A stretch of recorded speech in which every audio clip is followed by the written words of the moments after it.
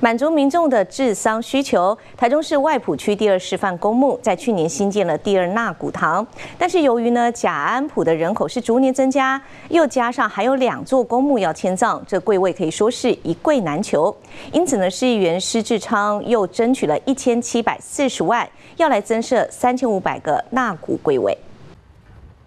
三层楼的建筑走进去，可以看到满满的那股归位。这是外埔第二示范公墓中的怀德堂，是不少民众要祭拜往生者的去处。不过，却因为柜位不足，出现了一柜难求的情况。是外埔已经长久以来，从过去台中县的时代，几楼到今嘛，其实拢拢无个起，阿嘛无个翻轨，所以相对应，其实里面的柜位其实都都很有限的啦。怀德堂是民国八十四年开始使用，为三层楼的建筑，但由于甲安埔人口不断增加，柜位趋近于饱和，又加上考量到区内有两座公墓的迁葬需求，要减缓扫墓引起火灾的风险，因此去年又在新建五层楼的第二纳古堂。而为了要满足民众治丧的需求，市议员石志昌就争取了一千七百四十万，要再增设三千五百个纳古柜位以及一座的神主。排位，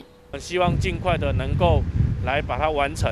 哦，那能够让我们啊简安普哦，甚至是周边的这些啊啊乡镇的这些啊，有一个好的一个临终关怀的一个场地啦。外埔的部分，因为有建筑物目前还没有尚未完工的情形，我们会配合完工的一个期程来尽快来施作，然后提供给贾安埔甚至是海线地区的民众。后续可以来尽速的来使用我们新的一个设备。由于外埔那古堂的建筑主结构仍在施作当中，增设柜位的工程预计在十月底会完工。届时不仅能够有更多的柜位可以供民众使用，也能够满足甲安埔民众落叶归根的需求。